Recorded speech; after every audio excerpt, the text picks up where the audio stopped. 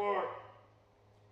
Let's attempt the rebuild on this hydraulic cylinder ourselves. Now, I personally have only rebuilt like three cylinders in my life, so I am the farthest from an expert. But you know what? I've watched enough Shane videos, and uh, if I learned anything, it's grab the biggest pipe wrench you own is step number one. Got our overpriced Komatsu seal kit here for about $125. Let's see how this works out. I can tell someone's been in here before because they actually had the tool, and you can see they kind of chewed it up when they uh, put their little spanner wrench inside of that. But look how this thing blew out. It was just gushing out of here. It pushed, I think, a seal out of there, and it blew out this wiper seal, but we'll see once we get into there. Took some convincing, but we did get this loose. You know what? I know what's going to happen. And I've learned from my mistakes, and I will grab one of these. Just kind of get the, oh, okay, there it goes. Wow, this thing is absolutely trash. Look at this.